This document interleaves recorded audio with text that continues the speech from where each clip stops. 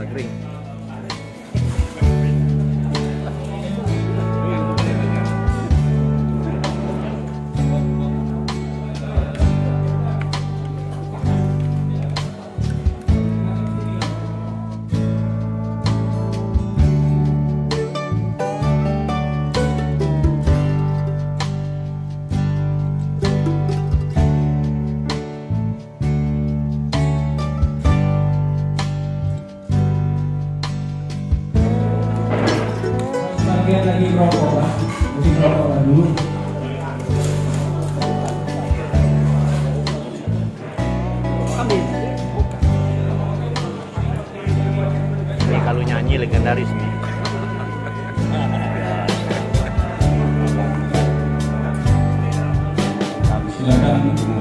Iya. kembali ke dalam. Bapak Haji Rizky Abimah dan semuanya Pak Rasul diajak semuanya. Ini nah. والسلام على أشرف الأنبياء والمرسلين وعلى آله وصحبه أجمعين سبحانك لا علم لنا إلا ما علمتنا إنك أنت العليم الحكيم yang kita hormati jauh melatih jauh melatih di dekat Komor semoga yang bersalam jawab salam nanti hidup barokah naik haji panjang umur. Assalamualaikum warahmatullahi wabarakatuh.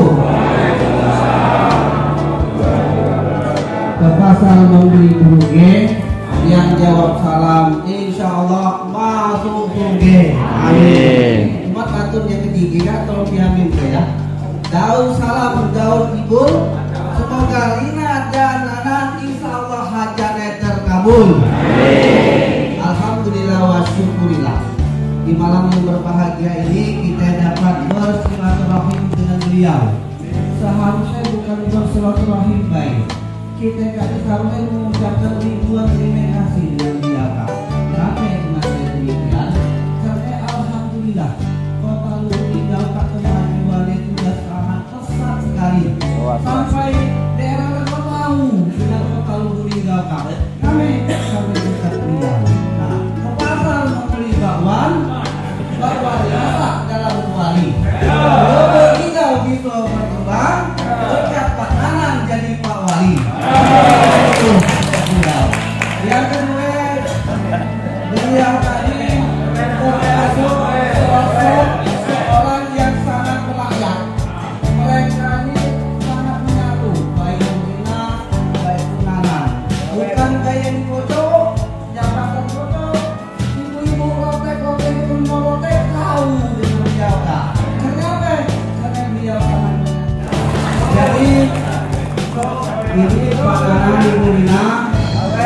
makanan ibu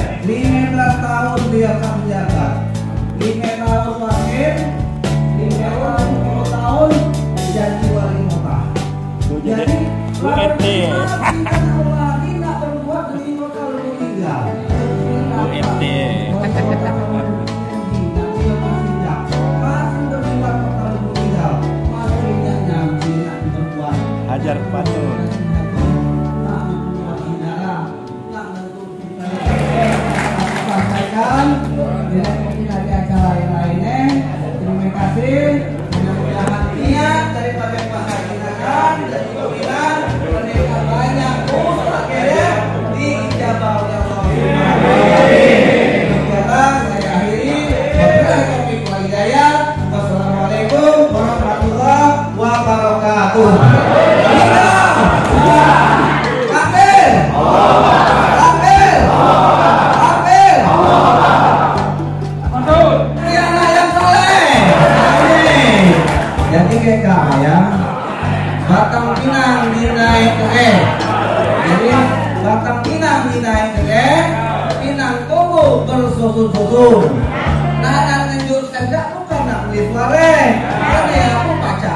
Alhamdulillah. Ya.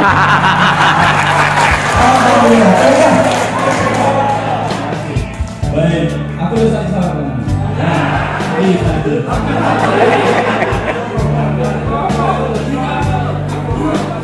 Bismillahirrahmanirrahim. Assalamualaikum warahmatullahi wabarakatuh. Alhamdulillah, alhamdulillah, alhamdulillah, syukurillah, la haula wala quwwata illa billah. Allahumma shalli ala sayyidina Muhammad. Sama-sama dihormati Bapak Haji Sore. Beliau adalah Lutigo, dua periode yang lalu.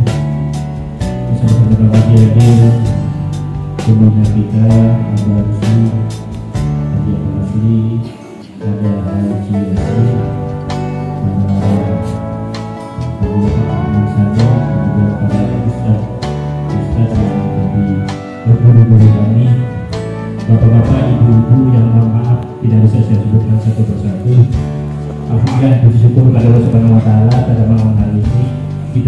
bersilaturahmi di rumah kediaman Bapak Haji SN Para Putra Sohe dengan rangka undangan beliau untuk bersama-sama berkumpul seluruh jamaah GPS Kota Lubuk pada kesempatan ini mungkin Pak Haji Nanan sedikit akan menceritakan bahwa GPSS itu awalnya terbentuk dari pertemuan beberapa jamaah masjid.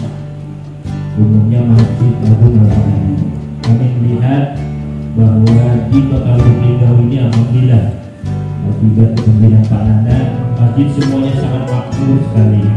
Tetapi jamaahnya yang memang tadi Nandan mungkin bisa Bapak lihat di sini semua ada maaf mantan pejabat para pensiunan para saudara-saudara yang ada di kota Lubuk Linggau para pegawai pejabat yang masih menjabat saat ini maupun para teman-teman yang memang mohon maaf tidak bekerja sama sekali artinya bekerjanya serabutan dan di sini juga pada eh, anggota GPS ada para ulama ulama yang menjadi guru kami ya para ustadz-ustadz yang di kota Probolinggo yang selalu memberikan arahan tausiah mungkin masukan kepada kami. Tetapi di grup GPS itu tidak ada perbedaan. Tidak ada yang kaya tidak ada yang memang pintar tidak ada yang merasa ilmunya tinggi tapi semuanya sama-sama menjalin silaturahmi. Pada kesempatan ini kami sampaikan setiap kegiatan kami subuh itu melanjutkan apa yang pernah dicanangkan dari kota kita yaitu merasa. Yaitu kami bersama-sama berbagi ke masyarakat sekitarnya yaitu memberikan sembako yaitu lebih kurang 20 sampai 30 paket kepada masyarakat yang sangat membutuhkan di lingkungan masjid. Yang menentukan adalah pengurus masjid. Jadi setiap sembako yang diberikan itu bukan kami yang menentukan pengurus masjid yang kami minta. Yang memang betul-betul layak. Kami silakan untuk diberikan. Di samping itu juga kami berbagi supaya silaturahmi kami bertambah akrab. Kami menyiapkan sarapan pagi. Selesai sholat subuh, tausiah. Kemudian kita bersama-sama menyantap sarapan pagi yang memang juga kami sediakan dan terima kasih para donatur yang selalu e, menyumbangkan sebagian hartanya sehingga kegiatan BPSS ini terus berjalan. Di samping itu juga kami anggota BPSS ini selalu menjaga kekompakan. Seandainya ada anggota keluarga yang sakit meninggal dan teman-teman tidak ada kegiatan luar bersama-sama kami berkunjung melayat dan membesuk keluarga tersebut mungkin itu yang disampaikan sekali lagi slogan dari BPSS tidak ada aku tidak ada kamu yang ada adalah kita. Sekali lagi BPSS murah Bingung bisa. Murah Tapi Allah. Tapi. Terima kasih saya kira Bila kemudian Assalamualaikum warahmatullahi wabarakatuh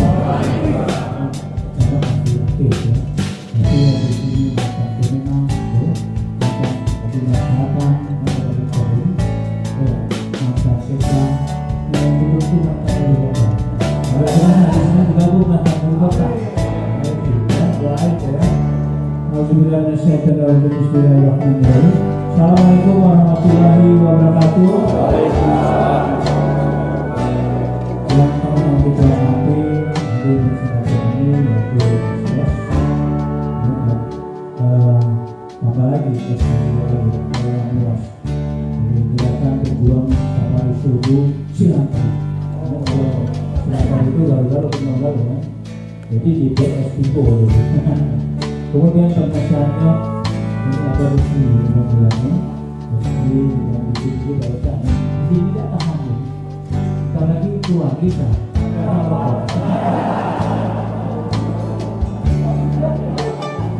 Yang ada di sini yang saya hormati seluruh uh, jemaat BPSS yang insya Allah semuanya Allah Subhanahu wa Ta'ala. Terus kita bersyukur pada Allah Subhanahu wa Ta'ala atas semua berkat dan berkat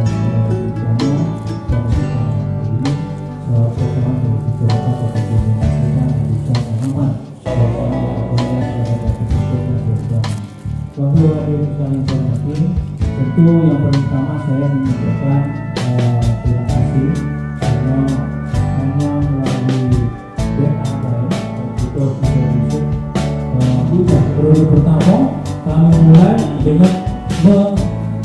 merenovasi total daripada Masjid Agung Sana.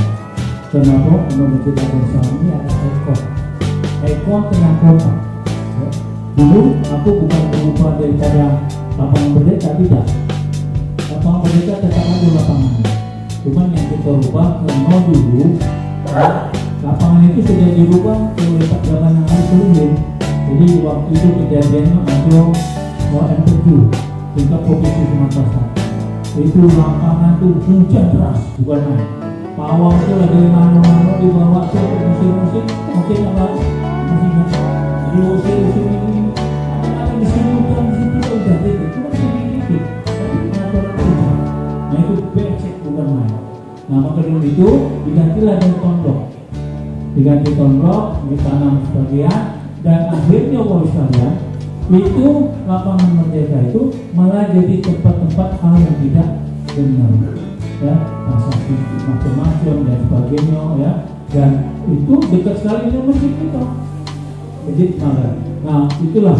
Dengan tekad kami yang kohar akhirnya merenovasi total masjid itu menjadi masjid seperti ini. Dulu mungkin mau masuk sholat subuh itu ada hati dulu. Cuman apa itu namanya mau masjid itu lah ya karena memang mengerikan kok masuk dalam masjid masalah itu ya. Dan alhamdulillah inovasi ya itu bisa menjadi kebanggaan daripada eh, apa namanya total Lubulinggo ya. Kalau buka di searching di Google total Lubulinggo untuk keluarga antara masjid agung dengan bukit surat artinya kita sudah menjadi ikon daripada total Lubulinggo dan kemudian kita mulai lagi dengan eh, mem- membangun memberdayakan Dewan